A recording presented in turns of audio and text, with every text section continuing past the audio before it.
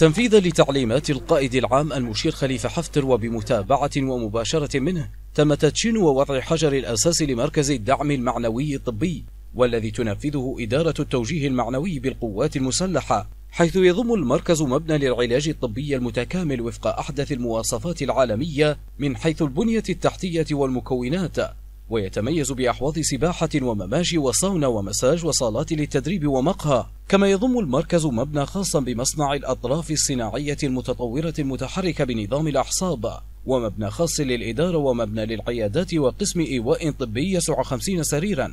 وتتسع مساحة المركز 10500 متر مربع وسيستغرق تنفيذ هذا المشروع ستة أشهر من قبل الشركة المنفذة. وتم وضع حجر الأساس من قبل مدير مكتب القائد العام والمكلف شخصيا بالإشراف ومتابعة المشروع والذي أثنى على المجهودات الجبارة التي تقوم بإنجازها القوات المسلحة. هذا وقد حضر الحفل مدير إدارة الاستخبارات العسكرية ورئيس هيئة الإمداد والتموين ومدير إدارة المراسم العسكرية وعميد جامعة بنغازي إضافة إلى رئيس هيئة السياحة ومنسق مكتب الشؤون العسكرية بوزارة الخارجية فيما بدأ الحفل بكلمة للشركة المنفذة والتي أثنت فيها على هذه الخطوة الممتازة وأهميتها. منسق الشؤون العلمية للمركز والمدير الإداري وعميد جامعة بنغازي أكدوا خلال كلماتهم على أهمية هذا الإنجاز العلمي الطبي والذي يتميز بنوعية الخدمات العالية وأشادوا بدور إدارة التوجيه المعنوي وأهمية تعاونهم مع بيوت الخبرة العلمية فيما أشاد مدير إدارة التوجيه المعنوي على مكونات هذا المشروع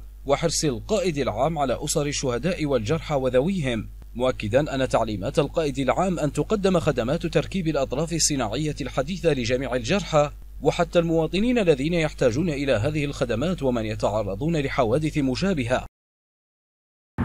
بناء على قرار سيد القائد العام بإنشاء مركز للدعم المعنوي في كل المناطق الثلاث منطقة بنغازي ومنطقة سبها ومنطقة طرابلس في الغرب.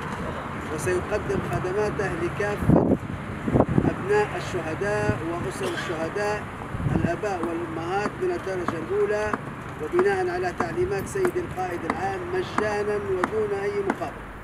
وأضاف مدير إدارة التوجيه المعنوي أن المركز سيقدم خدمات العلاج الطبيعي لأسر الشهداء والجرحى مبينا أنه ستكون هنالك ميزة أخرى حيث يتم العلاج بأسعار في متناول الجميع مما يخفض على المواطن من تكاليف العلاج الطبيعي الباهظة. كما تم عقب ذلك التوجه إلى إدارة التوجيه المعنوي حيث تم وضع حجر أساس لبناء مقر المطبعة العسكرية وذلك بناء على قرار القائد العام بنشرها وتقديم الخدمات الإعلامية لوحدات القوات المسلحة وأيضا بما فيها مرافق المجتمع. وقد ثمن مدير مكتب القائد العام على أهمية وسرعة إنجاز هذه المطبعة والأعمال التي ستقوم بإنجازها من دافع معنوي للعطاء لوحدات القوات المسلحة. وتسعى القيادة العامة إلى إنشاء مركز طبي وعلمي بأعلى المستويات التقنية والفنية ويأتي ذلك في حرص القيادة العامة لتقديم أفضل الخدمات لوحدات الجيش الوطني وتأسيس مؤسسة علمية متطورة.